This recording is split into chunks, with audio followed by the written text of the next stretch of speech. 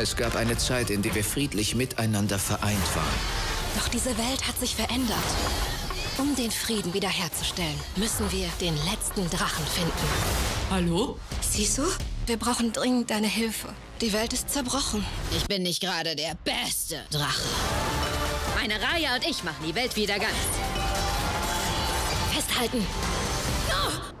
Oh, mein Fehler. Streame Raya und der letzte Drache exklusiv zuerst auf Disney Plus.